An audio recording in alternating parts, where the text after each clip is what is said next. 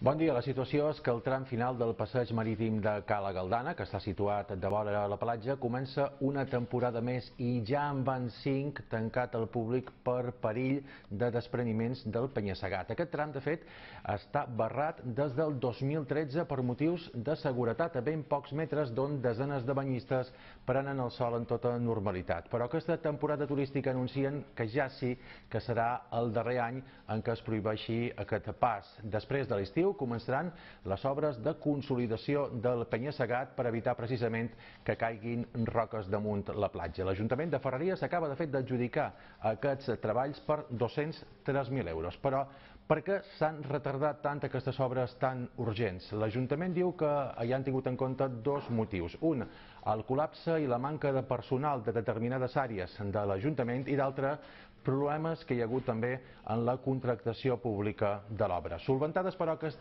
dificultats, les feines podien començar ja.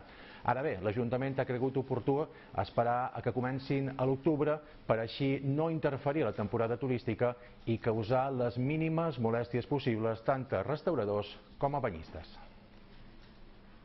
És una durada eh, d'obres bastant curteta, en principi són cinc setmanes i haurien de resoldre-ho. El que passa que ara en tema d'encomana de material i tema de renous, sobretot, eh, eh, trobam oportú, evidentment, no començar les obres ara eh, i començar-les tan pressa que acabi la temporada, o finals d'octubre o principi de novembre.